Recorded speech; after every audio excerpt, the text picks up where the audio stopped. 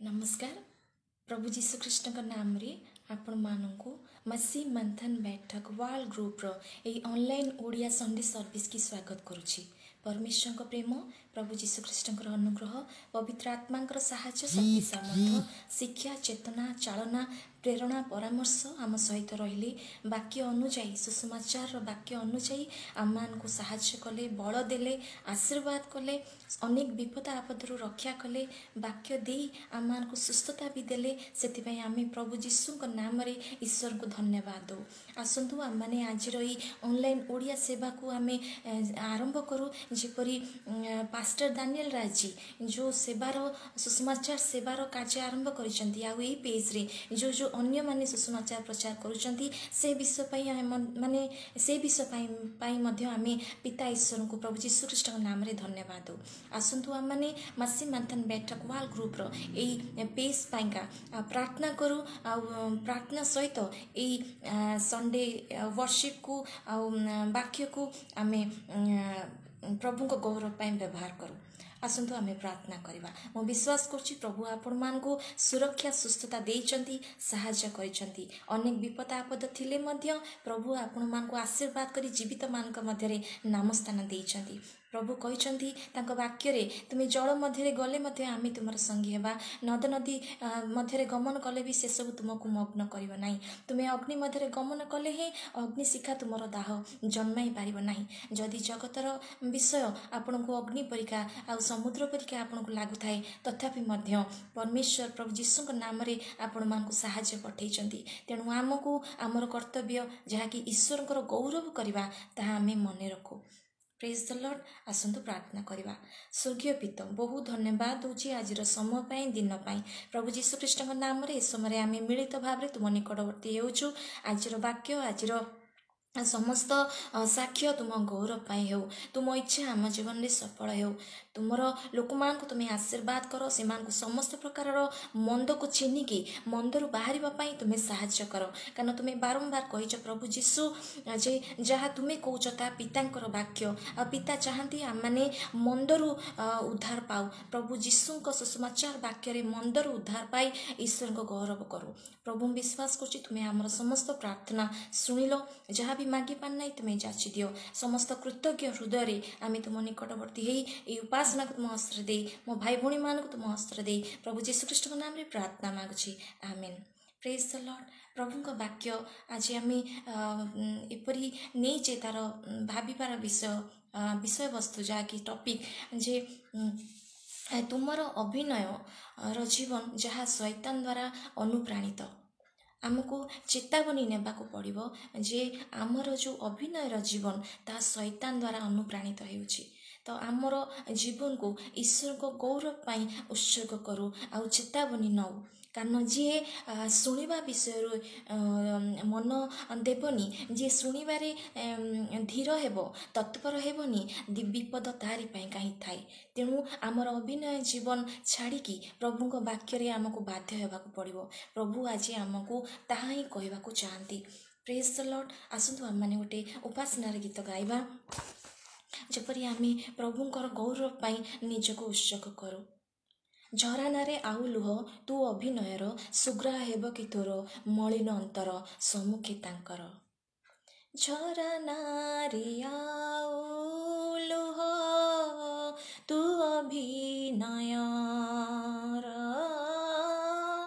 ଝରନାରେ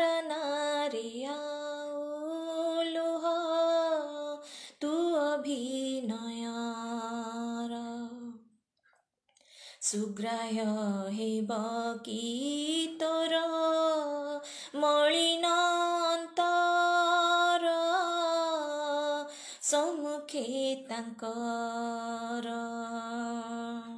ଚରଣାରେ ଆଉ ଲୁହ ତୁ ଅଭିନୟର।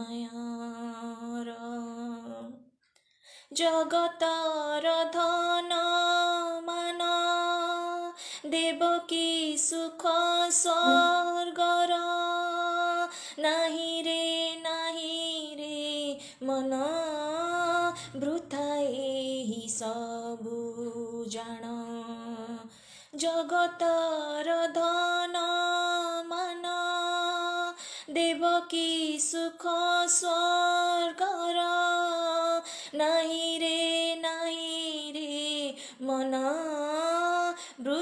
ଏହି ସବୁ ଜାଣ କେତେ ଯେ ବରଷ ଯାଏ ଜୀବନେ ତୋର ଆ, କେତେ ଯେ ବରଷ ଯାଏ ଜୀବନେ ତୋହର ତଥାପି ଜୀବନ ଗଛରେ ଫଳେନି ଫଳ ଅନୁଗ୍ରହର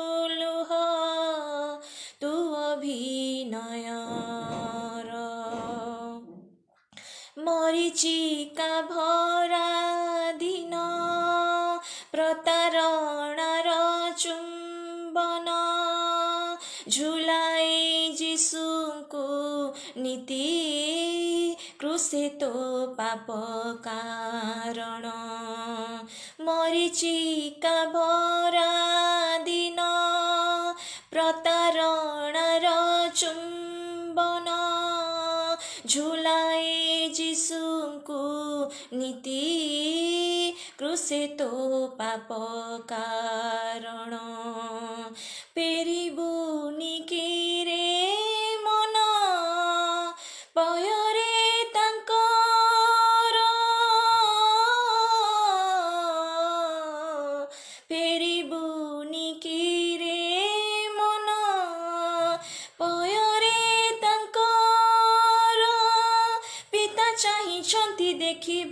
ତୋର ଲୁହ ଅନୁତାପର ଝରା ନାରେ ଆଉ ଲୁହ ତୁ ଅଭିନୟର ଝରା ନାରେ ଆଉ ଲୁହ ତୁ ଅଭିନୟର ସୁଗ୍ରାୟ ହେବ କି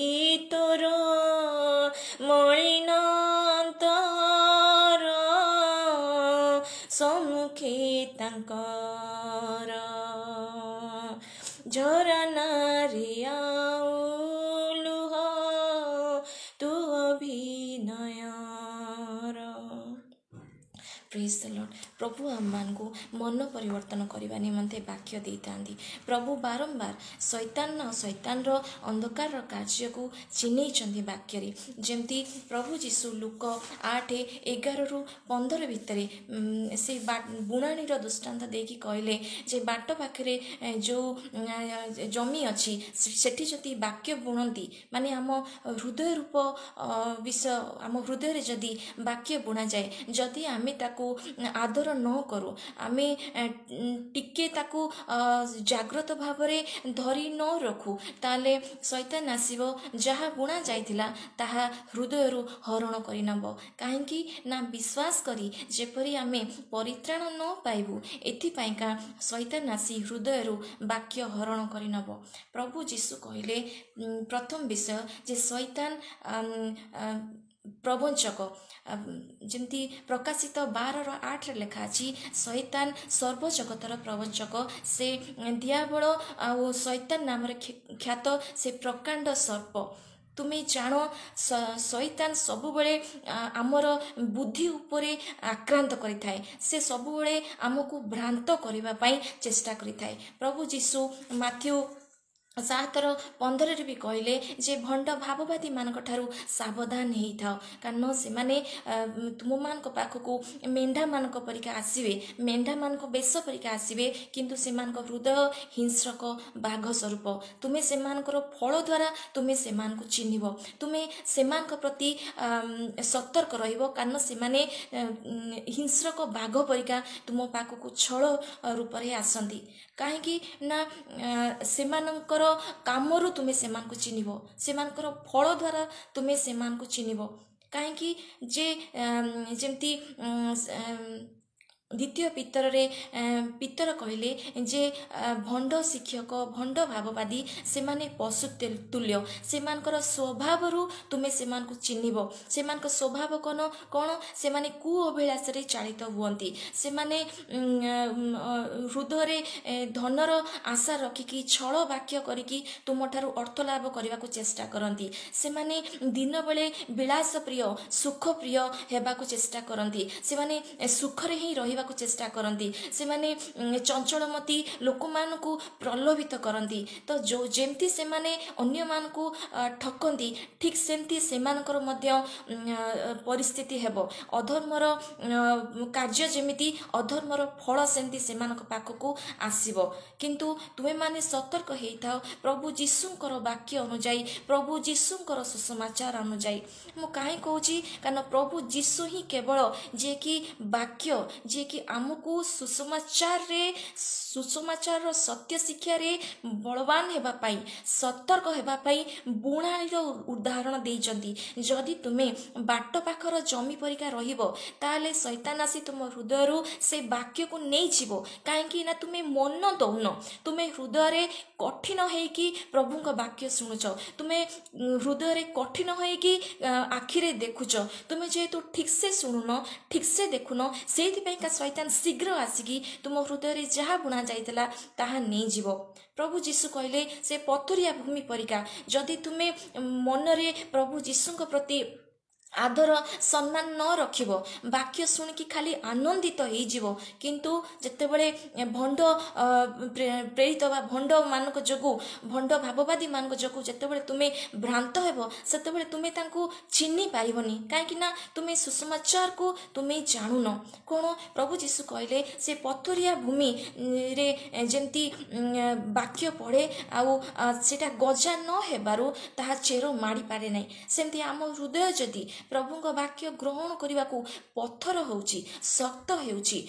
ଆମ ନିଜ ଇଚ୍ଛା ନିଜ ଖୁସିରେ ଯଦି ଆମେ ଚାଲୁଛୁ ତାହେଲେ ପ୍ରଭୁଙ୍କର ବାକ୍ୟ ସେଠି ଯଦି ଗୌରବ ପାଉନି ତାହେଲେ ସେଠି ଆମ ହୃଦୟ ପଥର ହେଇଯାଇଛି। ପ୍ରଭୁ ଯୀଶୁ କହିଲେ ଲୋକ ଆଠର ତେରରେ ଯେଉଁମାନେ ପଥର ଉପରେ ଅଛନ୍ତି ସେମାନେ ବାକ୍ୟ ଶୁଣି ଆନନ୍ଦରେ ଗ୍ରହଣ କରନ୍ତି କିନ୍ତୁ ସେମାନଙ୍କର ଚେର ନ ମାଣିବାରୁ ଅଳ୍ପ ସମୟ ବିଶ୍ୱାସ କରି ପରୀକ୍ଷା ସମୟରେ ଧର୍ମ ତ୍ୟାଗୀ ହୁଅନ୍ତି। ଯଦି କିଏ ଆସିକି ତୁମକୁ ଭ୍ରାନ୍ତ କରାଏ। ଯଦି କିଏ ଆସିକି ତୁମଠୁ ଛଳ କଥା କହି ଧନ ଲାଭ କରିବାକୁ ଚେଷ୍ଟା କରେ ସେମାନଙ୍କର ଚକ୍ଷୁ ଯଦି ବ୍ୟବିଚାରେ ପୂର୍ଣ୍ଣ ଯଦି ତୁମେ ସେମାନଙ୍କୁ ସେମାନଙ୍କର କାର୍ଯ୍ୟ ଅନୁଯାୟୀ ନ ଧରିବ ତାହେଲେ ତୁମେ କେବେ ବି ବିଶ୍ୱାସରେ ବଢ଼ିପାରିବନି ସେଇଥିପାଇଁ ପ୍ରଭୁ କହିଲେ ତୁମେ ହୃଦୟରେ ଯେହେତୁ ପଥର ରଖିକି ଶୁଣୁଛ ତୁମେ ଆନନ୍ଦରେ ତ ଗ୍ରହଣ କରୁଛ କିନ୍ତୁ ବାକ୍ୟ ତୁମଠାରେ ମାଡ଼ି ପାରୁନାହିଁ। ତୁମେ ବାକ୍ୟରେ ଯେଉଁ ନାଅ ସେଥିପାଇଁକା ତୁମେ ପରୀକ୍ଷା ଆସିଲେ ଧର୍ମ ତ୍ୟାଗୀ ହେଇଯାଉଛ। ତୁମେ ନିଜେ ପ୍ରାର୍ଥନା କରୁନା ତୁମେ ଯାଉଛ ଅନ୍ୟମାନଙ୍କ ପାଖକୁ ପ୍ରାର୍ଥନା କରିବାକୁ। ତୁମେ ଅନ୍ୟମାନଙ୍କ ପାଖକୁ ପଇସା ଦେଇକି ପ୍ରାର୍ଥନା କରୁଛ କିନ୍ତୁ ପ୍ରଭୁ କହିଲେ ତୁମେ ନିଜେ ପ୍ରାର୍ଥନା କର। ଏ ଜୀବନ ଯେଉଁ ଅଭିନୟର ଜୀବନ ଆମେ ଯୀଶୁଙ୍କ ଉପରେ ବିଶ୍ୱାସ କରୁଛୁ କିନ୍ତୁ ପ୍ରାର୍ଥନା କରିବା ପାଇଁ ଆମେ ଅନ୍ୟମାନଙ୍କ ପାଖକୁ ଯାଉଛୁ। ଆମେ ଯୀଶୁଙ୍କ ଯୀଶୁଙ୍କୁ ଅନ୍ୟମାନଙ୍କ ଆଗରେ ଭଲ ସମୟରେ happy Christmas happy happy Easter day happy Easter happy good Friday ତ କହୁଛୁ କିନ୍ତୁ ଯୀଶୁଙ୍କ ଠାରେ ଜୀବନ ଜିଇବାରେ ଆମେ ଶକ୍ତ। ଏହି ଅଭିନୟର ଜୀବନରେ କେହି ଯୀଶୁଙ୍କ ପାଇଁକା ବଢ଼ିପାରିବେନି ଆଗକୁ। ବିଶ୍ୱାସରେ ବଢ଼ିପାରିବେନି। ଯେତେବେଳେ ପରୀକ୍ଷା ଆସିବ ସେମାନେ ବିଶ୍ୱାସ ତ୍ୟାଗ କରିବେ ଆଉ ଯୀଶୁଙ୍କୁ ଜାଣିନାହାନ୍ତି ବୋଲି ସେମାନେ କହିବେ। ଆଉ ଗୋଟେ ବିଷୟ ପ୍ରଭୁ କହିଲେ କଣ୍ଟକମୟ ଜମିରେ ଯେତେବେଳେ ପଡ଼ିବ ବିହନ ସଂସାରର ଚିନ୍ତା ଧନର ମୋହ ଆଉ ସୁଖ ପାଇବାର ଯେଉଁ ବଶବର୍ତ୍ତୀ ବିଷୟ ଥାଏ ତାହା ଯଦି ତୁମ ଅନ୍ତରରେ ବଢ଼ୁଥାଏ ତାହେଲେ ତାହା ବାକ୍ୟକୁ ଚାପି ପକାଏ ଯାହାଦ୍ୱାରା ତୁମ ଜୀବନରେ ତୁମେ ବିଘ୍ନ ପାଇଥାଅ ଫଳହୀନ ହେଇଯାଇଥାଅ। ଆମେ ଯଦି ଏପରି ହୃଦୟ ରଖିକି ଜଗତର ମିତ୍ରତା ରଖିକି ଆମେ ଈଶ୍ୱରଙ୍କର ବାକ୍ୟକୁ ଶିଖୁଛୁ ଈଶ୍ୱରଙ୍କର ବାକ୍ୟକୁ ଆମେ ଶୁଣୁଛୁ ତାହେଲେ ଯଦି କାର୍ଯ୍ୟକାରୀ ହେଉନି ତାହେଲେ ଜାଣ ଗୋଟେ ସମୟ ଆସିବ ସଂସାର ଯେତେବେଳେ କ୍ଷୟ ହେବାକୁ ଯାଉଥିବ ଆଉ ଆମେ ବି ସେତେବେଳେ କ୍ଷୟ ହେବାକୁ ଯିବା। ତ ଏ ଅଭିନୟର ଜୀବନରୁ ଆମେ ସତର୍କ ହେବା ଜରୁରୀ। ଆମ ହୃଦୟ ସେଇ ବାଟ ପାଖର ଜମି ନ ହେଉ ଯେଉଁଥିପାଇଁକା ସୈତାନ ଆସିକି ଆଖି ପିଛୁଳାକେ ଆମ ହୃଦୟରୁ ବାକ୍ୟ ହରଣ କରିନେବ। ଆମେ ସେମିତି ନ ହେଉ ଯେ ଆମେ ଧର୍ମ ତ୍ୟାଗୀ ହେଉ ଆମେ ଯୀଶୁଙ୍କୁ ଅସ୍ୱୀକାର କରୁ। ଯେମିତି ପିତର ଆଉ ପ୍ରଭୁ ଯୀଶୁ ବି କହିଲେ ଭଣ୍ଡ ଭାବବାଦୀ ଭଣ୍ଡ ଶିକ୍ଷକମାନଙ୍କ ଠାରୁ ତୁମେ ସାବଧାନ ହେଇଥାଅ। ପିତର କହିଲେ ଯେ ସେମାନଙ୍କ ସ୍ୱଭାବକୁ ତୁମେ ଚିହ୍ନ। ସେମାନଙ୍କ ଚକ୍ଷୁ ବ୍ୟବିଚାରରେ ପରିପୂର୍ଣ୍ଣ। ତୁମେ ସେମାନଙ୍କୁ ଚିହ୍ନ। କେମିତି ଚିହ୍ନିବ? ଜଣେ ବାକ୍ୟ ପଢ଼ିଲେ ତୁମେ ସେମାନଙ୍କୁ ଚିହ୍ନିବ। ତାହେଲେ ତୁମେ ସାମ୍ନା କରିପାରିବ। ତାହେଲେ ସେଇଠି ତୁମର ଅଭିନୟର ଜୀବନ ଦୂର ହେଇପାରିବ। ତୁମେ ଲୋକମାନଙ୍କ ଆଗରେ ଅଭିନୟ କରିଦେଇପାରିବ କିନ୍ତୁ ଈଶ୍ୱରଙ୍କ ସମ୍ମୁଖରେ ନୁହେଁ। କାରଣ ଈଶ୍ୱରଙ୍କ ଆଗରେ ସମସ୍ତ ବିଷୟ ଆଉ ପ୍ରକାଶିତ ବିଷୟ ଯେମିତି ଏଭ୍ରିର ଚାରି ତେର ଏଭ୍ରି ଚାରିର ତେରରେ ଲେଖା ଅଛି ଈଶ୍ୱରଙ୍କ ସମ୍ମୁଖରେ କୌଣସି ପ୍ରାଣୀ ଅପ୍ରକାଶିତ ନୁହେଁ ମାତ୍ର ଯାହାଙ୍କ ଛାମୁରେ ଆମମାନଙ୍କୁ ନିକାଶ ଦେବାକୁ ହେବ ତାହାଙ୍କ ଦୃଷ୍ଟିରେ ସମସ୍ତ ବିଷୟ ଉଲ୍ଲଙ୍ଘ ଓ ଅନାବୃତ ଅଟେ। ଠିକ୍ ସେମିତି ଅଭିନୟ ଜୀବନ ବିଷୟରେ ସାଧୁ ପାଉଲ ତିମତିକି ବୁଝାଉଛନ୍ତି ଯେ ତିମତି ଶେଷ କାଳରେ ଏମିତି ହେବ। ଲୋକମାନେ ଅମିଳନ ପ୍ରିୟ ହେବେ। ସେମାନେ ଈଶ୍ୱର ଭକ୍ତ ନ ହୋଇ ବିଳାସ ପ୍ରିୟ ହେବେ। ସେମାନେ ଅକୃତଜ୍ଞ ଅପବିତ୍ର ସ୍ନେହ ଶୂନ୍ୟ ଅମିଳନ ଅପବାଦକ ହେବେ। ସେମାନେ ଭକ୍ତିର ଭେକ ଧରିବେ କିନ୍ତୁ ସେ ଶକ୍ତିକୁ ଅସ୍ୱୀକାର କରିବେ। ପ୍ରଭୁ ଯୀଶୁ ଯେପରି ଯେପରି ସୁଷମାଚାରରେ ବାକ୍ୟ କହିଥିଲେ ତାଙ୍କର ଦାସ ସାଧୁ ପାଉଲ ସେପରି ସେପରି ମଣ୍ଡଳୀକୁ ଶିକ୍ଷା ଦେବା ସହିତ ଯେହେତୁ ମଣ୍ଡଳୀରେ ଭଣ୍ଡ ଭାବବାଦୀ ଭଣ୍ଡ ଶିକ୍ଷକମାନଙ୍କର ଆଗମନ ହେଇଯାଉଥିଲା ତ ସେ ତିମତିକୁ ସତର୍କ କରୁଥିଲେ ଯେ ତିମତି ତୁମେ ସତର୍କ ହେବ ଅଭିନୟ ଜୀବନରୁ ସତର୍କ ହେବ। କାରଣ ଏଇସବୁ ସମସ୍ୟା ଶେଷ କାଳରେ ଏହିପରି ଭୀଷଣ ସମସ୍ୟା ଉପସ୍ଥିତ ହେବ। ଯାହାକି ଆମର ଯୀଶୁଙ୍କ ଉପରେ ବିଶ୍ୱାସକୁ ଦୁର୍ବଳ କରିଦେବ ଯାହାକି ଆମକୁ ସାମ୍ନାରେ ଅଭିନୟ କରିବା ପାଇଁ ଆମକୁ ବାଧ୍ୟ କରାଇବ। Praise the Lord praise the Lord ତ ସାଧୁ ପାଉଲ କହିଲେ ଯେ ଦୁଷ୍ଟ ଦ୍ୱିତୀୟ ତିମତି ତିନିର ତେର ଚଉଦ ପନ୍ଦରରେ ଦୁଷ୍ଟ ଲୋକେ ପ୍ରବଞ୍ଚକ ମାନେ ଭ୍ରାନ୍ତି ଜନ୍ମାଇ ଓ ଭ୍ରାନ୍ତ ହୋଇ ଅଧିକରୁ ଅଧିକ ଦୁଷ୍ଟ ହୋଇ ଉଠିବେ କିନ୍ତୁ ତୁମେ ଯାହା ଯାହା ଶିକ୍ଷା କରିଅଛ ଆଉ ଯେ ସମସ୍ତ ବିଷୟ ନିଶ୍ଚିତ ବୋଧ ପାଇଅଛ ସେ ସବୁରେ ସ୍ଥିର ହୋଇ ରହିଥାଅ କାରଣ ତୁମେ ଜାଣୁଅଛ କେଉଁମାନଙ୍କ ଠାରୁ ସେଇ ସବୁ ଶିକ୍ଷା କରିଅଛ। ସାଧୁ ପାଉଲ କହିଲେ ଯେ ଯେଉଁମାନେ ଦୁଷ୍ଟ ଯେଉଁମାନେ ପ୍ରବଞ୍ଚକ ସେମାନେ ଆହୁରି ଆହୁରି ବଢ଼ନ୍ତୁ ସେମାନେ ବଢ଼ିବେ କିନ୍ତୁ ତୁମେ ସେମାନଙ୍କ ଠାରୁ ଅନ୍ତର ହୁଅ। କିନ୍ତୁ ତୁମେ ଯେଉଁ ସୁଷମାଚାରର ସତ୍ୟ ଶିକ୍ଷା ମୋ ଠାରୁ ଶିଖିଛ ସାଧୁ ପାଉଲ କହିଲେ ତିମତିକୁ ତୁମେ ଯାହା ଶିକ୍ଷା କରିଛ ତାକୁ ତୁମେ ବିଶ୍ୱାସ ନିମନ୍ତେ ସ୍ଥିର ହେଇକି ରହିଥାଅ। କାହିଁକି ନା ତାହା ତୁମର ପରିତ୍ରାଣ ନିମନ୍ତେ ତୁମକୁ ସାହାଯ୍ୟ କରିବ। ଯେମିତି ପନ୍ଦରରେ କହିଲେ ପୁଣି ଯେଉଁ ଧର୍ମଶାସ୍ତ୍ର ଅର୍ଥାତ୍ ସୁଷମାଚାରର ବାକ୍ୟ ଖ୍ରୀଷ୍ଟ ଯୀଶୁଙ୍କଠାରେ ବିଶ୍ୱାସ ଦ୍ୱାରା ତୁମକୁ ପରିତ୍ରାଣଜନକ ଜ୍ଞାନ ଦେବାକୁ ସମର୍ଥ ତାହା ତୁମେ ବାଲ୍ୟକାଳରୁ ଜ୍ଞାତ ଅଛ। ଆମେ ଅନେକ ସମୟ ହେରି ହେଲା ପ୍ରଭୁଙ୍କ ସୁଷମାଚାରକୁ ଆମେ ପଢ଼ୁଛୁ ମନେ ରଖୁଛୁ ଶିଖୁଛୁ କିନ୍ତୁ ଯେତେବେଳେ ବ୍ୟବହାରର ସମୟ ଆସୁଛି ସେତେବେଳେ ଆମେ ଆମେ ଦୂରେଇ ଯାଉଛୁ। କାହିଁକି ନା ଆମେ ସାମ୍ନାରେ ଅଭିନୟ କରୁଛୁ କାହିଁକି ନା ଆମେ ବାକ୍ୟକୁ ମାନିବା ପାଇଁକା ବାକ୍ୟକୁ ସ୍ୱୀକାର କରିବା ପାଇଁକା ବାକ୍ୟରେ ଜିଇବା ପାଇଁକା ଆମେ ସତର୍କ ହେଉନାହୁଁ। କିନ୍ତୁ ଯେତେବେଳେ ପ୍ରଭୁ ଯୀଶୁ ଲୁକ ଆଠର ସେଇ ପନ୍ଦରରେ ଉଦାହରଣ ଦେଉଛନ୍ତି ଉତ୍ତମ ଜମି ଯେତେବେଳେ ତା ଉପରେ ବାକ୍ୟ ପଡ଼େ ସେତେବେଳେ ସେ ତିରିଶ ଗୁଣ ଶହେ ଗୁଣ ଶହେ ଗୁଣ ତିରିଶ ଗୁଣ ଷାଠିଏ ଗୁଣ ଶହେ ଗୁଣ ଫଳ ଫଳେ। ସେମିତି ଆମ ଜୀବନରେ ଯଦି ଆମେ ପ୍ରଭୁଙ୍କ ବାକ୍ୟ ପଢ଼ୁଛୁ ଶୁଣୁଛୁ ଆଉ ଆନନ୍ଦରେ ଗ୍ରହଣ କରିବା ସହିତ ତାକୁ ଆମ ଜୀବନରେ ବ୍ୟବହାର କରୁଛୁ ଯଦି ଅଭିନୟର ସମୟ ଆସିଲା ଆମେ ସେଠି ବରଂ ସ୍ୱୀକାର କରିଦେଉଛୁ ଯେ ଆମେ ଭୁଲ ହେଇଯାଇଛି ଆମେ ପ୍ରଭୁଙ୍କ ବାକ୍ୟ ମାନିନୁ ଆମେ ପ୍ରାର୍ଥନା କରିନୁ ଆମେ ଅମିଳନ ହେଇଛୁ ଆମେ ଅପବାଦ କରିଛୁ ତାହେଲେ ସେଇଠି ଗୋଟେ ପ୍ରକାର ସୁରକ୍ଷା ବିଷୟ ଥାଏ। କାହିଁକି ନା ଆମେ ସେଇ ଅଭିନୟ ବିଷୟକୁ ଆମେ ପରିତ୍ୟାଗ କରିଛୁ। ଯଦି ଅଭିନୟକୁ ସାମ୍ନାରେ ରଖିକି ଆମେ କହିଛୁ ଯେ ହଁ ଆମେ ବାକ୍ୟ ପଢ଼ୁଛୁ ହଉ ଆମେ ପ୍ରାର୍ଥନା କରୁଛୁ ହଉ ଆମେ ସୁସମାଚାର ପ୍ରଚାର କରୁଛୁ ତାହେଲେ ଦିନେ ଆମକୁ ଈଶ୍ୱରଙ୍କ ସାମ୍ନାରେ ଠିଆ ହେବାକୁ ଅଛି। ଦିନେ ଈଶ୍ୱର ଆମକୁ ଯୀଶୁଙ୍କ ସାମ୍ନାରେ ବିଚାର ନିମନ୍ତେ ଠିଆ କରାଇବେ। ତ ସେଠି ଅଭିନୟ ଆଉ ନଥିବ। ଆମେ ଯାହା ଆମେ ସେଠି ତାହା ହିଁ ସେମିତି ହିଁ ଠିଆ ହେଇଥିବା। କାରଣ ଯୀଶୁ ଏବେ ବାକ୍ୟ ରୂପରେ ଆମକୁ କଥା କହୁଛନ୍ତି କିନ୍ତୁ ସେଦିନ ବିଚାରର ଦିନରେ ଯୀଶୁ ବିଚାରକର୍ତ୍ତା ହେଇକି ଆମ ସାମ୍ନାରେ ଯେମିତି ସେ ଏବେ ଅଛନ୍ତି ସେମିତି ସେ ଆମ ସାମ୍ନାରେ ଥିବେ।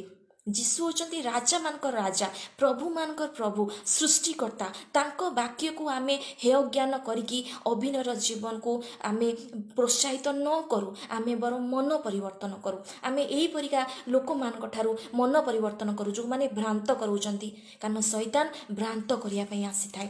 ଆଉ ଗୋଟେ ବିଷୟ ଆ, ତୁମ ଗୋଟେ ମିଛୁଆ। ଯେମିତି ଜୋହନ ଅ, ଆଠ ଚଉରାଳିଶରେ ପ୍ରଭୁ ଯୀଶୁ ସେମାନଙ୍କୁ ଜିହୁଦୀମାନଙ୍କୁ ଉତ୍ତର ଦେଲେ ଯେ ଯେଉଁମାନେ ଯୀଶୁଙ୍କ ବାକ୍ୟ ଶୁଣିକି ବିଶ୍ୱାସ କରୁନଥିଲେ ସେମାନଙ୍କୁ ପ୍ରଭୁ ଯୀଶୁ ଉତ୍ତର ଦେଲେ। ତୁମେମାନେ ମିଛୁଆ ତୁମେମାନେ ତୁମମାନଙ୍କର ପିତା ଶୈତାନର କାମନାକୁ ପୂର୍ଣ୍ଣ କରିବା ପାଇଁ ଆସିଛ। ଶୈତାନ ଆଗରୁ ନରଘାତକ ତାଠାରେ ସତ୍ୟ ନାହିଁ। ସେ ଯେତେବେଳେ ମିଛ କୁହେ ସେ ଆପଣା ଅନ୍ତରରୁ କୁହେ। ତାହେଲେ ଯେତେବେଳେ ଶୈତାନ ଆପଣଙ୍କୁ ମିଛ କହିବା ପାଇଁ ଲିଡ୍ କରିବ ସେତେବେଳେ ଆପ- ଆପଣ ମନା କରିବେ ରୋକିବେ ନିଜକୁ। ସୁଷମାଚାରର ବାକ୍ୟ ଆମକୁ ଏହା ଶିଖାଏ ଯେ ଆମେ ସତ୍ୟ ଭାବରେ ପରସ୍ପରର ନିକଟବର୍ତ୍ତୀ ହେବା। କାରଣ ସତ୍ୟ ଈଶ୍ୱରଙ୍କ ସହିତ ଆମେ ଯୀଶୁଙ୍କ ଦ୍ୱାରା ମିଳିତ କରାଯାଇଛି। Praise the Lord praise the Lord ଯେମିତି ପ୍ରଭୁ ଯୀଶୁ କହିଲେ ଏ, ଜୋହନ ଆଠର ପଇଁଚାଳିଶରେ ମୋ ଠାରେ ପାପ ଅଛି ବୋଲି କିଏ ପ୍ରମାଣ ଦେଇଅଛି? ମୁଁ ସତ୍ୟ କହୁଅଛି ତୁମେ ମୋତେ ବିଶ୍ୱାସ କରୁନା ଉମ୍, ତାପରେ କହିଲେ ଯେ ଈଶ୍ୱରଙ୍କ ଠାରୁ ଉତ୍ପନ୍ନ ସେ ଈଶ୍ୱରଙ୍କ ବାକ୍ୟ ଶୁଣେ। ଏହେତୁ ତୁମେମାନେ ଶୁଣୁନାହ କାରଣ ତୁମେମାନେ ଈଶ୍ୱରଙ୍କ ଠାରୁ ଉତ୍ପନ୍ନ ନୁହଁ। ଯୀଶୁ କହିଲେ ଯେଉଁମାନେ ଯୀଶୁଙ୍କୁ ବିଶ୍ୱାସ କରୁନାହାନ୍ତି ଶୁଣିକି ବିଶ୍ୱାସ କରୁନାହାନ୍ତି ସେମାନେ ଈଶ୍ୱରଙ୍କ ଠାରୁ ଉତ୍ପନ୍ନ ନୁହଁ। ଯଦି ଆଜି ଆମର ଜୀବନ ଆମକୁ ମିଛ କହିବା ପାଇଁ ଉତ୍ସାହିତ କରୁଛି ତାହେଲେ ଆମେ ସେଠି ଅଭିନୟ କରୁଛୁ। ଶୈତାନ ଦ୍ୱାରା ଆମେ ପ୍ରେରିତ ହେଇଛୁ ଆମେ ମନେ ରଖୁ। କାରଣ ଶୈତାନ ନରଘାତକ। ଯଦି ଆମେ ଅନ୍ୟକୁ ଠକିଲା ପରିକା ବା ମିଛ କହିଲା ପରିକା କାମ କରୁଛୁ ଆମେ ସେଠି ସତ୍ୟତା ଆମଠାରେ ନାହିଁ। ତେଣୁକରି ଆମେ ସେସବୁ ବିଷୟରୁ ପୃଥକ ହେଉ। କାରଣ ଯଦି ଆମେ ବାକ୍ୟ ଶୁଣିକି ଯୀଶୁଙ୍କଠାରେ ବିଶ୍ୱାସ କରୁଛୁ ତାହେଲେ ଆମେ ଈଶ୍ୱରଙ୍କ ସନ୍ତାନ। ସେମିତି ଜାକୁବ ମଧ୍ୟ ଏକ ଜାକୁବ ଏକ ଏକରୁ ଅ, ତେଇଶରୁ ଉଁ, ଛବିଶ ଭିତରେ କହିଲେ ଯେ ଶ୍ରୋତା ମାତ୍ର ହୋଇ ଆପଣାକୁ ପ୍ରବଞ୍ଚନା ନ କରି ବାକ୍ୟର କର୍ମକାରୀ ହୁଅ। କାରଣ ଯିଏ ଶ୍ରୋତା ଖାଲି ହେବ ସେ ଦର୍ପଣରେ ଆପଣା ମୁଖ ଦେଖିଲା ପରିକା ହେବ ଯିଏକି କିଛି ସମୟ ପରେ ତା ମୁଖକୁ କ'ଣ ସେ ଦେଖିଥିବ ସେ ଭୁଲିଯିବ। କିନ୍ତୁ ସିଦ୍ଧ ସିଏ ହେବେ ଯିଏ ବିସ୍ମରଣକାରୀ ଏ, ନ ହେବ। ଯିଏ ଉଁ, ବାକ୍ୟକୁ ଶୁଣିକି ମାନିବା ଆ, ବିଷୟ ତା ଜୀବନରେ ଯଦି ଦେଖାଯାଉଥିବ ତାହେଲେ ସେ ସିଦ୍ଧ ହେଇପାରିବ ଆଉ ସିଏ ହିଁ ଧନ୍ୟ। ତେଣୁ ଯେ କେହି ଶୁଣିବାରେ ତତ୍ପର ହେବ କହିବାରେ ଧୀର ହେବ ସିଏ କ୍ରୋଧ କରିବାରେ ଧୀର ହେବ ସିଏ ହିଁ ଈଶ୍ୱରଙ୍କର ଗୌରବ କାରଣ ହେଇପାରିବ ଯୀଶୁଙ୍କ ଦ୍ୱାରା ସିଏ ହିଁ ଅଭିନୟରୁ ମୁକ୍ତ ହେଇପାରିବ।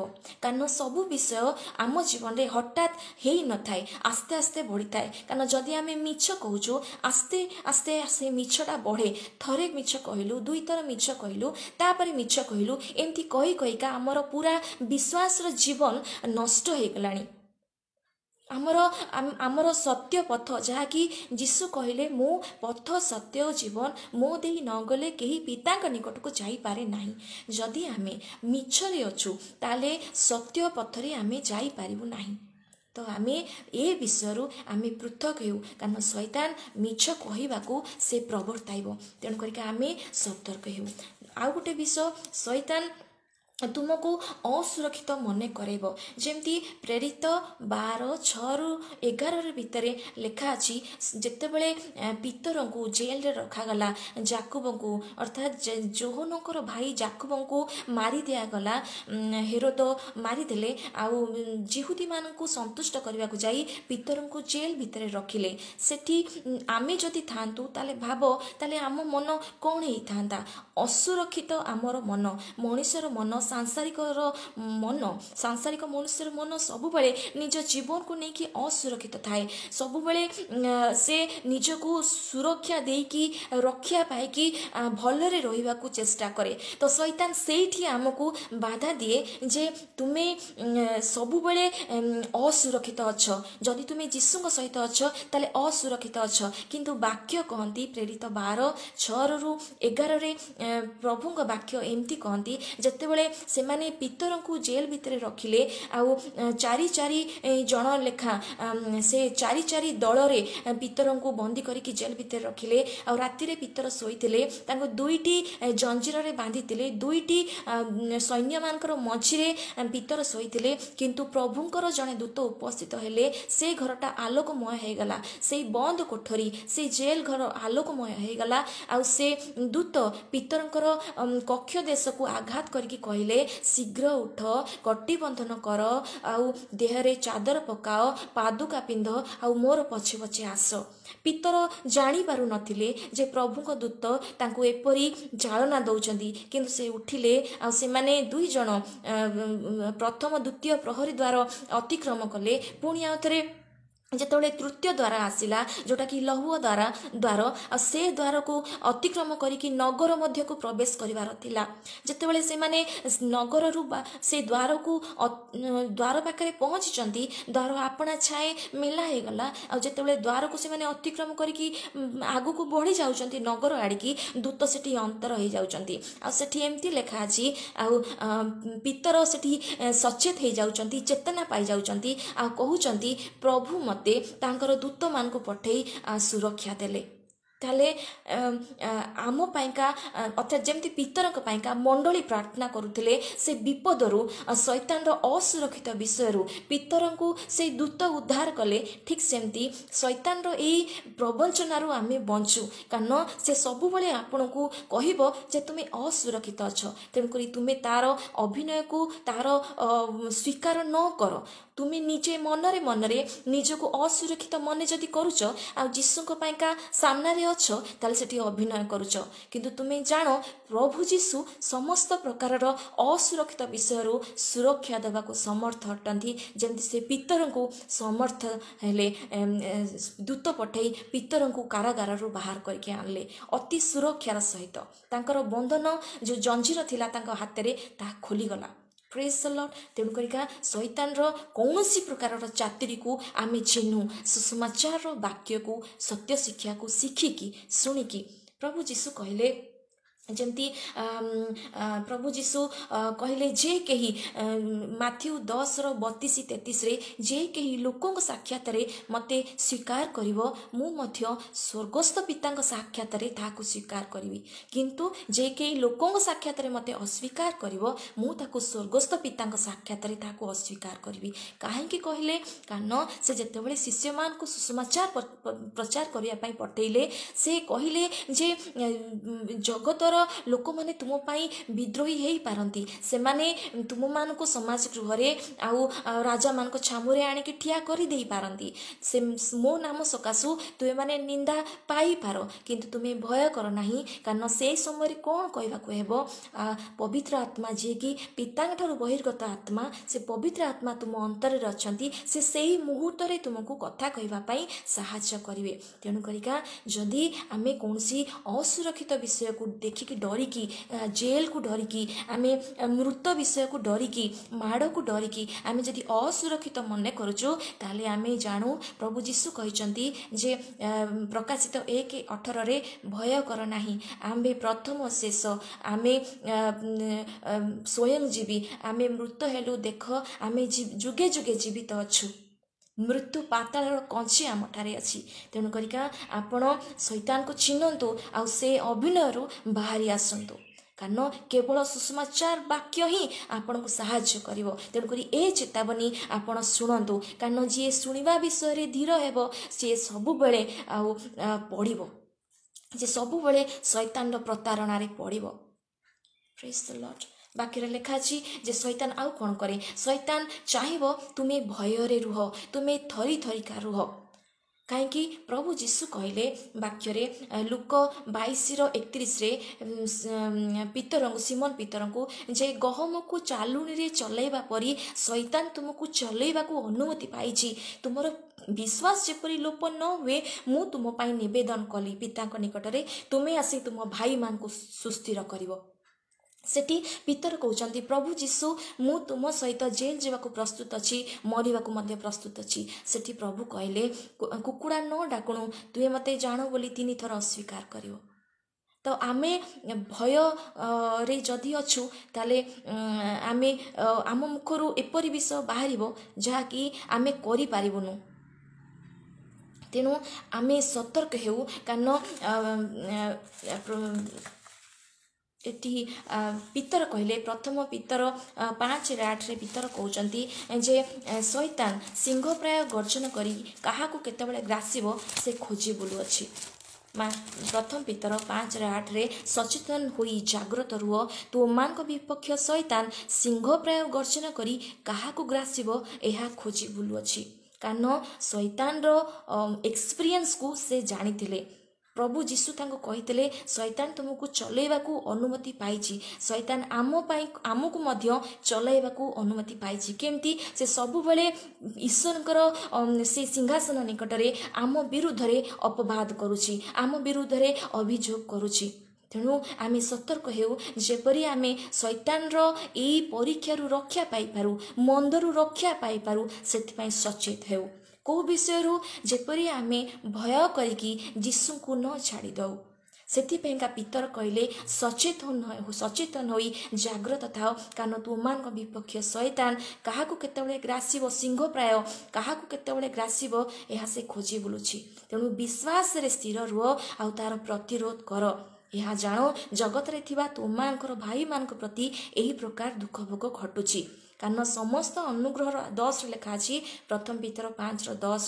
ସମସ୍ତ ଅନୁଗ୍ରହର ଆକାର ଯେଉଁ ଈଶ୍ୱର ଆପଣା ଅନନ୍ତ ଗୌରବର ସହଭାଗୀ ହେବା ନିମନ୍ତେ ଖ୍ରୀଷ୍ଟ ଯୀଶୁଙ୍କ ଦ୍ୱାରା ତୁମମାନଙ୍କୁ ଆହ୍ୱାନ କରିଅଛନ୍ତି ସେ ତୁମମାନଙ୍କୁ କ୍ଷଣିକ ଦୁଃଖ ଭୋଗ ଉତ୍ତାରେ ତୁମମାନଙ୍କୁ ସିଦ୍ଧ ସୁସ୍ଥିର ଆଉ ସବଳ ସଂସ୍ଥାପିତ କରିବେ। ତେଣୁ ତୁମେ ଯଦି ବର୍ତ୍ତମାନ ଭୟ କରୁଛ ଯେ ଶୈତାନ କାର୍ଯ୍ୟ କରୁଛି ଶୈତାନ କାର୍ଯ୍ୟ କରୁଛି ତାହେଲେ ଶୈତାନର କାର୍ଯ୍ୟ କରିବ କିନ୍ତୁ ଈଶ୍ୱରଙ୍କର କାର୍ଯ୍ୟ ତାଙ୍କର ଯୀଶୁ ବିଶ୍ୱାସ ଠାରେ ସବୁବେଳେ ହେଇ ଆସୁଛି କାରଣ ଏଠି ବାକ୍ୟରେ ଲେଖା ଅଛି ଦୁଃଖ ଘଟି ଆସୁଛି କିନ୍ତୁ ଈଶ୍ୱରଙ୍କର କାର୍ଯ୍ୟ ଆଉ ଈଶ୍ୱରଙ୍କର ଆଶୀର୍ବାଦ ଯୀଶୁଙ୍କ ଦ୍ୱାରା ଆମମାନଙ୍କ ପ୍ରତି ମଧ୍ୟ ହେଇ ଆସୁଛି ତେଣୁ ପିତର କହିଲେ ସେ ପ୍ରାଚୀନମାନଙ୍କୁ ଯେଉଁ ପଲମାନଙ୍କୁ ଅ, ପ୍ରଭୁ ଦାୟିତ୍ୱ ଦେଇଛନ୍ତି ଯେଉଁ ବିଶ୍ୱାସୀ ମାନଙ୍କୁ ଅ, ତୁମକୁ ଦାୟିତ୍ୱ ଦିଆଯାଇଛି ସେମାନଙ୍କୁ ତୁମେ ପ୍ରତିପାଳନ କର। ପ୍ରଭୁ ଯୀଶୁଙ୍କ ସୁଷମାଚାରର ସତ୍ୟ ଶିକ୍ଷାରେ ସେମାନଙ୍କୁ ବଢ଼ାଅ ଯେପରି ସେମାନେ ଆତ୍ମିକ ଭାବରେ ବିଶ୍ୱାସରେ ବଳବାନ ହେବେ। ଯେପରି ସେମାନଙ୍କର ବିଶ୍ୱାସ ଯୀଶୁଙ୍କ ଉପରେ ରହିବ ସେମାନଙ୍କ ବିଶ୍ୱାସ ଆଉ କେଉଁ ଆଉ କେଉଁ କାହା ଉପରେ ରହିବ ନାହିଁ କେବଳ ଯୀଶୁଙ୍କ ଉପରେ ରହିବ। ସେ କହିଲେ ଯେ ତୁମର ଦାୟିତ୍ୱ ଭାର ତୁମେ ଯାହା ତୁମ ହସ୍ତରେ ସମର୍ପିତ ଅଛି ତୁମେ ସେମାନଙ୍କ ଉପରେ କର୍ତ୍ତାପଣ କର ନାହିଁ। କାରଣ କାରଣ ତୁମ ଉପରେ ଜଣେ କର୍ତ୍ତା ଅଛନ୍ତି ସେ ହେଉଛନ୍ତି ଯୀଶୁ ଖ୍ରୀଷ୍ଟ ତୁମେ ତାଙ୍କ ସହିତ ଆଦର୍ଶ ସ୍ୱରୂପ ହୁଅ। ତୁମେ ଅନ୍ୟର ଅନ୍ୟ ଉପରେ କର୍ତ୍ତାପଣ ନ ହେଇକି ଆଦର୍ଶ ସ୍ୱରୂପ ହୁଅ ଯେପରି ସେମାନେ ତୁମମାନଙ୍କୁ ସେମାନଙ୍କର ଆଦର୍ଶ ସ୍ୱରୂପ କରିବେ। ପ୍ରେଜ ଦ ଲର୍ଡ ତୁମେ ଯାହା କରୁଛ ଯେପରି ଆନନ୍ଦ ସହକାର କରିବ ବାଧ୍ୟ ବାଧକତା ହେଇକି କରିବ ନାହିଁ। ପ୍ରେଜ ଦ ଲର୍ଡ ତାହେଲେ ଯାଇକି ଯଦି ଆମେ ବାଧ୍ୟ ହେଇକି କରୁନୁ ଆନନ୍ଦରେ କରୁଛୁ ତାହେଲେ ନିଶ୍ଚୟ ଅଭିନୟର ଜୀବନ ଯାହା ଶୈତାନ ଆଣୁଛି ଯେ ତୁମକୁ ଭୟ ଦେଖାଉଛି ଶୈତାନ କାର୍ଯ୍ୟ କରିବ କାର୍ଯ୍ୟ କରିବ ଏ ବିଷୟରୁ ମୁକ୍ତ ହେଇପାରିବ ବାକ୍ୟରେ ପ୍ରଭୁ ଯୀଶୁ ଯେମିତି ବାକ୍ୟ ଦେଇଥିଲେ ପିତରଙ୍କୁ ତାଙ୍କ ସମୟରେ ପିତର ଯେତେବେଳେ ପ୍ରଭୁ ଯୀଶୁଙ୍କ ସହିତ ସେବା କାର୍ଯ୍ୟ କରୁଥିଲେ ଯୀଶୁଙ୍କଠୁ ଯାହା ଯାହା ଶୁଣିଲେ ଯେ ଉଁ, ଶୈତାନ କାର୍ଯ୍ୟ କରିବ କିନ୍ତୁ ଆମକୁ ଯୀଶୁଙ୍କ ବାକ୍ୟରେ ସ୍ଥିର ହେବାକୁ ପଡ଼ିବ। କାହିଁକି ନା ପ୍ରଭୁ ଯୀଶୁ କହିଲେ ମୋ ଉପରେ ବିଶ୍ୱାସ କର। ପିତାଙ୍କ ଉପରେ ବିଶ୍ୱାସ କର। ବାରମ୍ବାର ଯୌନ ଚଉଦରେ ଉମ୍, ଶିଷ୍ୟମାନଙ୍କୁ କହିଲେ ମୋ ଉପରେ ବିଶ୍ୱାସ କର ପିତାଙ୍କ ଉପରେ ବିଶ୍ୱାସ କର। କାରଣ ଆଘାତ ସବୁବେଳେ ବିଶ୍ୱାସକୁ ହେଇଥାଏ। ସେଥିପାଇଁକା ପ୍ରଭୁ ସଚେତ କରେଇଲେ ଲୋକ ବାଇଶ ଏକତିରିଶରେ ଶୈତାନ ତୁମକୁ ଉମ୍, ବା- ବାଧା ଦେବ ଆ, ତୁମକୁ ଚଲେଇବ ଚାଲୁଣିରେ ଚଲେଇବା ପରି। କିନ୍ତୁ ତୁମର ବିଶ୍ୱାସ ଯେପରି ଲୋପ ନ ହୁଏ ମୁଁ ପ୍ରାର୍ଥନା କରିଛି ତୁମେ ମଧ୍ୟ ଫେରିକି ତୁମ ଭାଇମାନଙ୍କୁ ସୁସ୍ଥିର କର। ସେମିତି ଆମେ ଯଦି କିଏ ଅଛନ୍ତି ଆଜି ପ୍ରଭୁଙ୍କ ବାକ୍ୟ ଶୁଣୁଛନ୍ତି ଯେଉଁମାନେ ବିଶ୍ୱାସୀମାନଙ୍କର ଦାୟିତ୍ୱ ନେଇଛନ୍ତି ସେମାନେ ପ୍ରଭୁଙ୍କ ଏଇ ବାକ୍ୟକୁ ସୁଷମାଚାରକୁ ସେମାନେ ଗ୍ରହଣ କରନ୍ତୁ ଚେତାବନୀ ନିଅନ୍ତୁ ଯେ ଅଭିନୟ ପରିକା କାହାକୁ ବ୍ୟବହାର ନ କରିକି ଆଦର୍ଶ ସ୍ୱରୂପ ହୁଅନ୍ତୁ। ପ୍ରେଜ ଦ ଲର୍ଡ ଯୁବକମାନଙ୍କୁ ମଧ୍ୟ ପିତର କହିଲେ ଯେ ତୁମେ ବଡ଼ମାନଙ୍କର ପ୍ରାଚୀନମାନଙ୍କର ବଶବର୍ତ୍ତୀ ହୁଅ। କାରଣ ଯେତେବେଳେ ପ୍ରଭୁ ଯୀଶୁ ପ୍ରକାଶିତ ହେବେ ସେତେବେଳେ ସିଏ ଏହିସବୁ କର୍ମ ଦେଖିବେ। କେ- କ'ଣ କର୍ମ? ତୁମେ ବାଧ୍ୟ ହୋଇକି କର୍ମ କରୁନ। ତୁମେ ନିଜ ଇଚ୍ଛାରେ ନିଜ ଖୁସିରେ ପ୍ରଭୁଙ୍କର ଗୌରବ ପାଇଁ ତୁମେ କାମ କରୁଛ। ତୁମେ ଲାଭ ଚେଷ୍ଟା କରୁନ। ତୁମେ କୁଶ୍ଚିତ ବ୍ୟବହାର କରୁନ। ତୁମେ ବାଧ୍ୟ ହେଉଛ ବଡ଼ମାନଙ୍କର। ତୁମେ ସେ ସେ ପଲର ତୁମେ ଦାୟିତ୍ୱ ନେଉଛ। ସେଥିପାଇଁକା ଯେତେବେଳେ ପ୍ରଭୁ ଯୀଶୁ ପ୍ରକାଶିତ ହେବେ ସେ ତୁମକୁ ଗୌରବ ଆଉ ଅମ୍ଳାନ ମୁକୁଟ ଦେବେ। ପ୍ରେସ୍ ଲର୍ଡ ତାହେଲେ ଶୈତାନ ଏହା ହିଁ ଚାହୁଁଛି ସେ ତୁମ ତୁମକୁ ବିଚଳିତ କରିଦେବା ପାଇଁ ସେ ତୁମକୁ ପ୍ରଭୁ ଯୀଶୁଙ୍କର ବାକ୍ୟରୁ ହଟେଇ ଦେବା ପାଇଁ ତେଣୁ ସେ ତୁମକୁ ଭୟ ଦେଖେଇବ କିନ୍ତୁ ତୁମେ ତାକୁ ସେ ଭୟକୁ ତୁମେ ଛାଡ଼ି ଯୀଶୁଙ୍କ ବାକ୍ୟରେ ତୁମେ ମନ ଦେବ ଯେମିତି ତୁମର ବିଶ୍ୱାସ ମଜବୁତ ହେବ।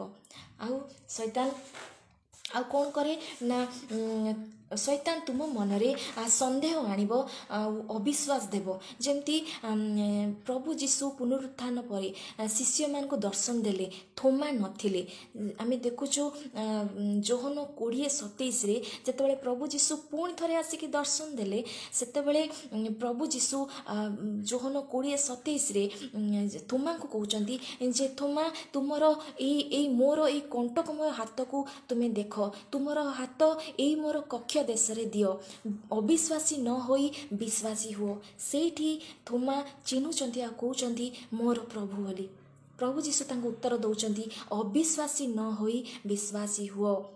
କାରଣ ତୁମେ ମୋତେ ଦେଖିକି ବିଶ୍ୱାସ କରୁଛ କିନ୍ତୁ ଯେଉଁମାନେ ମୋତେ ନ ଦେଖିକି ବିଶ୍ୱାସ କରୁଛନ୍ତି ସେମାନେ ଧନ୍ୟ। ଆଜି ଯଦି ଆମେ ପ୍ରଭୁ ଯୀଶୁଙ୍କୁ ବାକ୍ୟକୁ ଶୁଣିକି ଯୀଶୁଙ୍କୁ ବିଶ୍ୱାସ କରୁଛୁ ତାହେଲେ ଆମେ ଧନ୍ୟ ହେଇଛୁ। ସୈତାନ ଆମକୁ ସେଇ ଧନ୍ୟ ବିଷୟରୁ ପୃଥକ କରିବାକୁ ଚାହେଁ। କ'ଣ ଦେଇକି?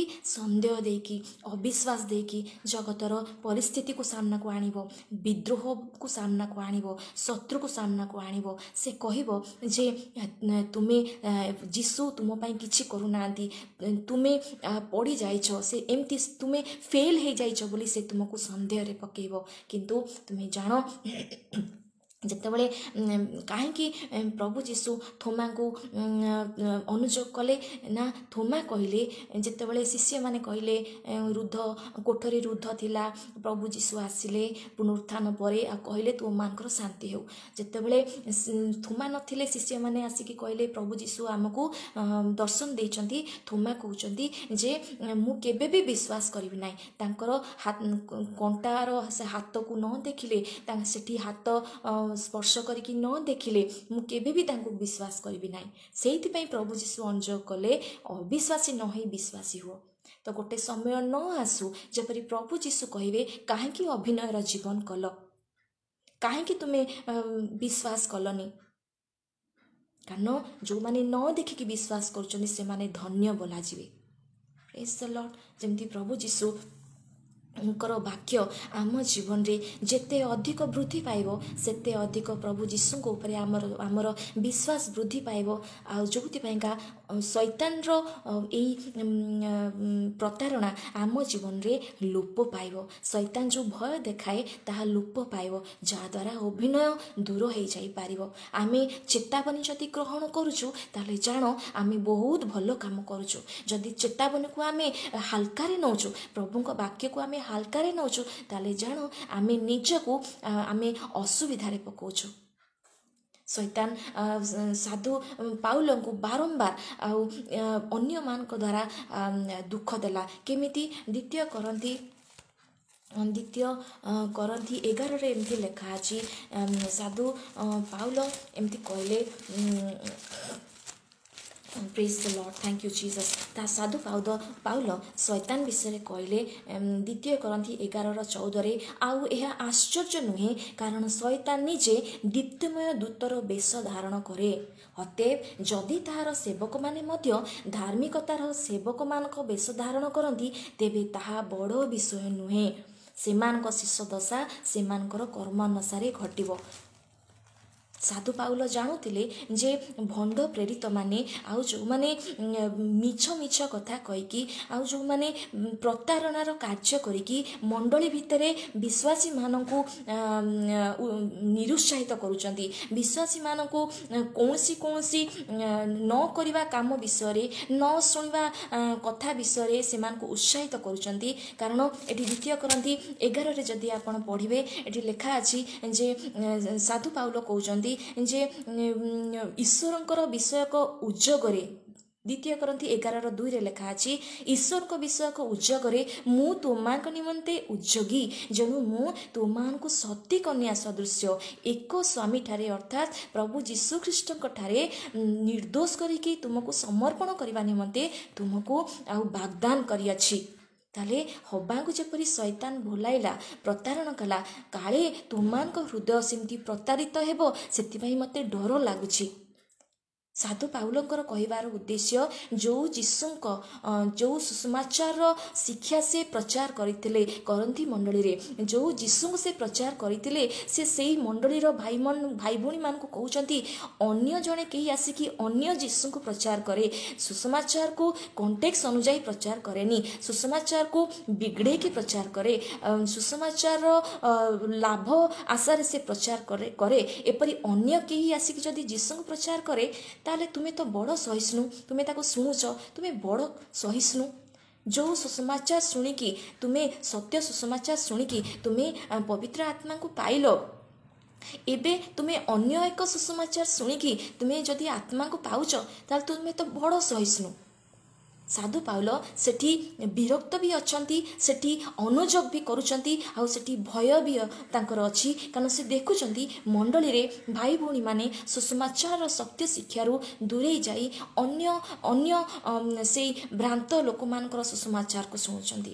ସେଥିପାଇଁକା ସାଧୁ ପାଉଲ ଏଠି କହିଲେ ଯେପରି ଭଣ୍ଡ ଭାବବାଦୀମାନେ ଭଣ୍ଡ ଶିକ୍ଷକମାନେ ସୁଯୋଗ ଅନ୍ୱେଷଣ କରି ଆମମାନଙ୍କର ଜାଗା ନ ନେବେ ସେଥିପାଇଁ ମୁଁ ସେମାନଙ୍କୁ ସୁଯୋଗ ଦେବି ନାହିଁ ମୁଁ ଯାହା କରୁଛି କରୁଛି ତାହା କରୁଥିବି। କାରଣ ଗୋଟେ ସମୟ ଆସିବ ପ୍ରଭୁ ଯୀଶୁ ଯେତେବେଳେ ପ୍ରକାଶିତ ହେବେ ସେ ଦେଖିବେ ଯେ ମୁଁ କିପରି ଦୁର୍ବଳ ପରୀକ୍ଷା ତୁମ ସାମ୍ନାରେ ରହିଲି। ତଥାପି ମଧ୍ୟ ମୁଁ ସାହସୀ। ଯେଉଁମାନେ ନିଜକୁ ମହାନ ଦେଖେଇକି ଯେଉଁମାନେ ନିଜକୁ ପ୍ରତିଷ୍ଠିତ ଦେଖେଇକି ଈଶ୍ୱରଙ୍କର ସେଇ ଯୀଶୁଙ୍କର ସେବକ ହେଇକି ଯେଉଁମାନେ ସାମ୍ନାରେ ଅଛନ୍ତି ସେମାନେ ଯେବେ ପ୍ରଭୁଙ୍କର ସୁସମାଚାର ଶିକ୍ଷାରେ ନିଜେ ଶିଖିକି ଅନ୍ୟକୁ ସୁସମାଚାର ସତ୍ୟ ଶିକ୍ଷା ଦେଉନାହାନ୍ତି ତାହେଲେ ତୁମେ ଜାଣ ତୁମେ ବଡ଼ ବିପଦରେ ଅଛ। ଶୈତାନ ଦ୍ୱାରା ସେମାନେ ଲିଡ୍ ହେଉଛନ୍ତି କାରଣ ଏଠି ଶୈତାନ ଦୀପ୍ତିମୟ ଦୂତର ବେଶ ଧାରଣ କରେ।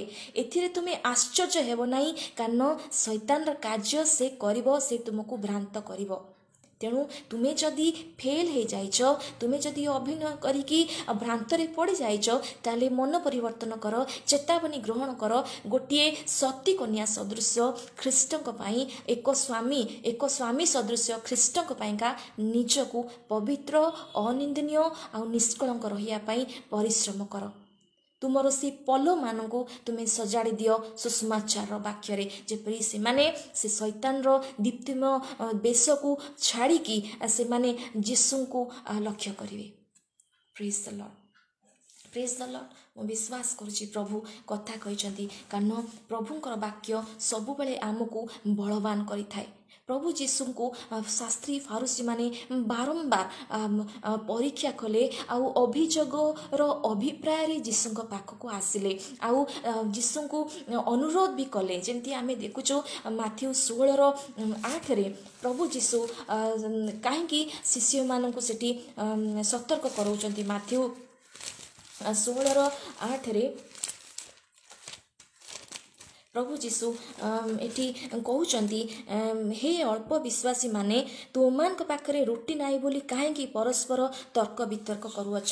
ଏଠି ମାଥ୍ୟୁ ଷୋହଳ ଏକରୁ ଯଦି ଆପଣ ବାର ଯାଇ ଦେଖିବେ ଶାସ୍ତ୍ରୀ ସରି ଫାରୁସି ଓ ସାଧୁକୀମାନେ ଯୀଶୁଙ୍କୁ ପରୀକ୍ଷା କରିବା ଅଭିପ୍ରାୟରେ ଆଉ ତାଙ୍କୁ ଛଳ କରୁଛନ୍ତି ଆଉ ଅନୁରୋଧ କରୁଛନ୍ତି ଆକାଶରୁ ଆମକୁ ଗୋଟେ ଚିହ୍ନ ଦେଖାଅ। ପ୍ରଭୁ ଯୀଶୁ କହୁଛନ୍ତି ଯେ ଦୁଷ୍ଟ ବ୍ୟବିଚାରୀ ବଂଶ ଚିହ୍ନ ଅନ୍ୱେଷଣ କରନ୍ତି ଜୁନସ୍କ ଚିହ୍ନ ବିନା ସେମାନଙ୍କୁ ଆଉ କୌଣସି ଚିହ୍ନ ଦିଆଯିବ ନାହିଁ। କିନ୍ତୁ ତାଙ୍କର ଶିଷ୍ୟମାନଙ୍କୁ କହୁଛନ୍ତି ଯେ ତୁମେ ଫାରୋସି ଆଉ ସାଧୁକୀମାନଙ୍କର ଫାରୋସି ଷୋହଳର ଛଅରେ କହିଛନ୍ତି ଯୀଶୁ ସେମାନଙ୍କୁ କହିଲେ ସତର୍କ ହୁଅ ଫାରୋସି ଆଉ ସାଧୁକୀମାନଙ୍କର ଖମିର ଠାରୁ ସାବଧାନ ହୋଇଥାଅ।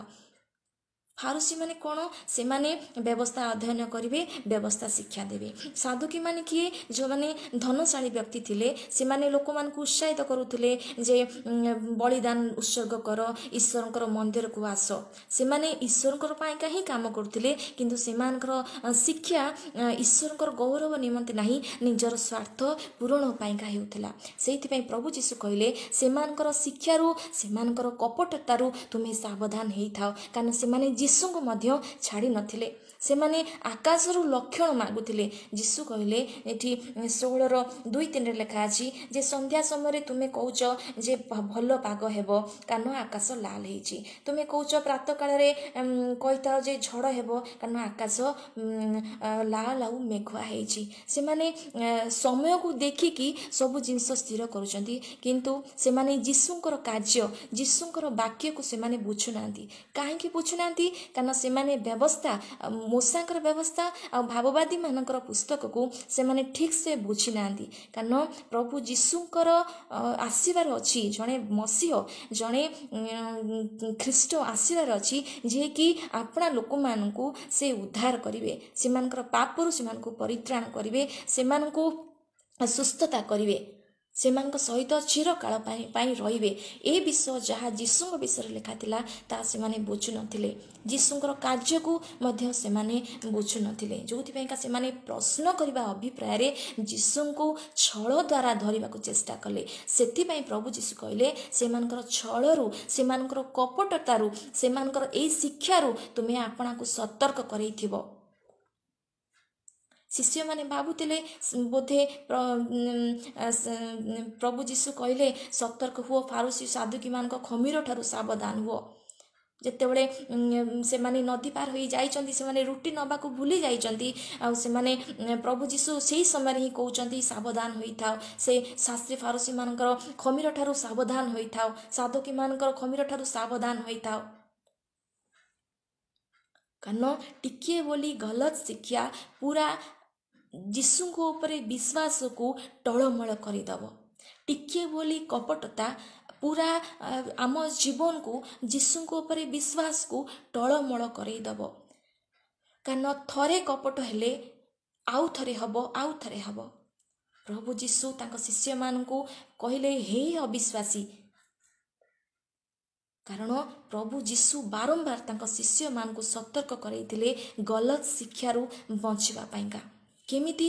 ନା ପ୍ରଭୁ ଯୀଶୁଙ୍କର ବାକ୍ୟ ଯେତେବେଳେ ଆମେ ଶିଖୁ ଶୁଣୁ ତାକୁ ଆମ ଜୀବନରେ ବ୍ୟବହାର କରୁ ସେତେବେଳେ ହିଁ ଆମେ ଶୈତାନର ଏଇ ଶିକ୍ଷାରୁ ଶୈତାନ ଦ୍ୱାରା ପ୍ରେରିତ ଲୋକମାନଙ୍କ ଠାରୁ ଆମେ ବଞ୍ଚି ପାରିଥାଉ।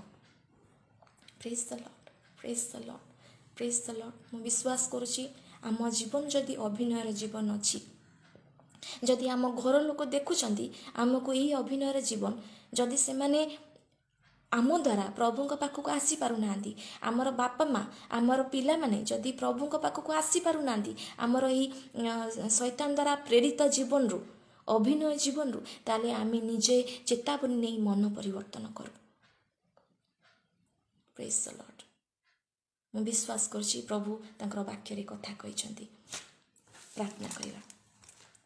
ସ୍ୱର୍ଗୀୟ ପିତ ବହୁ ଧନ୍ୟବାଦ ଦେଉଛି ପ୍ରଭୁ ଯୀଶୁଙ୍କ ବାକ୍ୟ ଅନୁଯାୟୀ ତୁମେ ଆମମାନଙ୍କୁ କଥା କହିଛ। ହେ ପବିତ୍ର ଆତ୍ମା ତୁମେ ଆମମାନଙ୍କୁ ବାକ୍ୟକୁ ବ୍ୟାଖ୍ୟା କରିବା ପାଇଁ ଦେଇଛ ଧନ୍ୟବାଦ ଦେଉଛୁ। ପ୍ରଭୁ ତୁମ ବାକ୍ୟରେ ଆମେ ଯେପରି ସତର୍କ ହୋଇପାରିବୁ ସୈତାନ ଯେପରି ପ୍ରତାରଣା କରି ସେ ପ୍ରତାରଣରୁ ଆମେ ତୁମ ବାକ୍ୟ ଅନୁଯାୟୀ ବଞ୍ଚିପାରିବୁ। ସୈତାନ ଆମକୁ ଅସୁରକ୍ଷିତ ମେହସୁସ କରାଏ କିନ୍ତୁ ବାକ୍ୟରେ ଲେଖା ହେଇଛି ତୁମେ ଦୂତମାନଙ୍କୁ ପଠେଇ ଦୂତଙ୍କୁ ପଠେଇ ପିତରଙ୍କୁ ସେ ଜେଲରୁ ରକ୍ଷା କଲ। ଯେମିତି ସାଧୁ ପାଉଲ କହିଲେ ରୁମି ଆଠର ପଇଁତିରିଶରେ କି କ୍ଲେଶ କି ସଙ୍କଟ କି ତାଡ଼ନା କି ଦୁର୍ଭିକ୍ଷ ଆମକୁ ଖ୍ରୀଷ୍ଟଙ୍କ ପ୍ରେମରୁ ଅଲଗା କରିପାରିବ।